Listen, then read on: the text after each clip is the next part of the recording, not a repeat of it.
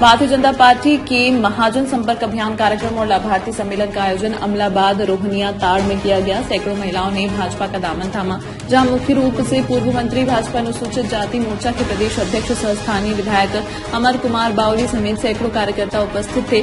सभी को फूल की माला पहनाकर स्वागत किया गया। मौके पर विधायक ने कहा कि आज़ादी के बाद 2014 में जब नरेंद्र मोदी जी की सरकार बनी तो देश से गरीबी को मिटाने का संकल्प लिया गया। और आज देश के अठासी करोड़ लोगों को पक्का मकान, मुफ़्त में अनाज, गैस चूल्हा समेत बिजली, पानी देकर गरीबी को मिटाने का काम किया गया है। साठ साल तक जिसकी सरकार बनी, किसी ने गरीब जनता के लिए कुछ नहीं किया। मोदी सरकार ने जनता के हित में काम कर दिखाया है। उन्होंने कहा कि कांग्रेस पार्टी की स्थापना भारत का निर्माण के लिए नहीं हुई थी। ब्रिटिश सरकार के खिलाफ लड़ने वाले भारत के क्रांतिकारी को रोकने के लिए हुआ था। कांग्रेस ने केवल साठ तक देश की जनता का शोषण किया है।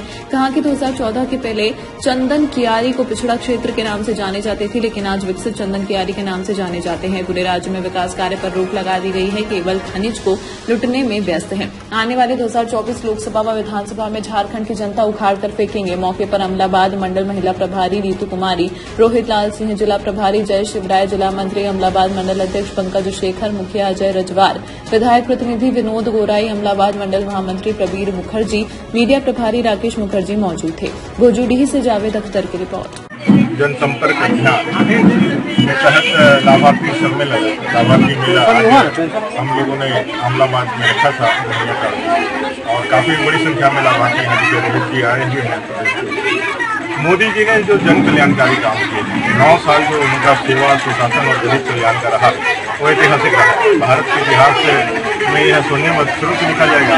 यहाँ भारत के लोग इस सारे कामों से लाभान्वित हो रहे हैं, वहीं विश्व आश्चर्यचकित हो रहा है। कि भाई एक अरब चालीस करोड़ देश के नागरिकों को नए तकनीक का इस्तेमाल करते हुए, उपयोग करते हुए अंतिम व्यक्ति तक किस तरह से उनके जीवन को परिवर्तन लाने का काम आज नरेंद्र भाई मोदी जी ने किया है, ये देख करके पूरा विश्व भी आश्चर्यचकित है। भारत के सामर्थ्य को आज दुनिया के सामने लाने का काम जो मोदी जी कर रहे हैं, इक्कीस तारीख आज विश्व योग दिवस के रूप में पूरा दुनिया मना रहा है और इसका पूरा जो श्रेय है, भारत के इस महान दुनिया को देन, देने का काम जो हमारे महर्षियों ने किया था, मनुष्यों ने किया था, आज दुनिया से उसको वापस परिचय कराने का जो काम कर रहा है उसका नाम नरेंद्र भाई मोदी है।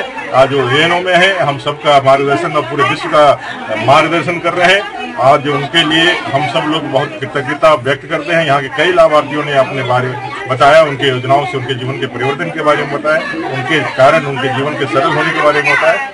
ये सारे लोग दृढ़ संकल्पित है कि बिना किसी भटकाव के, बिना किसी प्रलोभन में आए हुए, बिना किसी बहकाव में आए हुए 2024 में फिर से प्रचंड बहुमत के साथ नरेंद्र मोदी को वापस दमदार निर्माण का भरोसा, लाल स्टील टीएमटी बार्स हर निर्माण के लिए उपयोग, लाल स्टील टीएमटी बार्स रिश्ता, मजबूती का।